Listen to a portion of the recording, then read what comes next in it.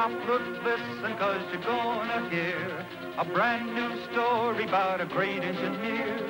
He's the greatest of them all, we claim. Number one's his engine, Casey Jones, his name. Casey Jones, steaming and rolling. Casey Jones, you never have to guess. When you hear the tooting of the whistle, it's Casey at the throttle of the Cannonball Express. Casey Jones, you never have to guess.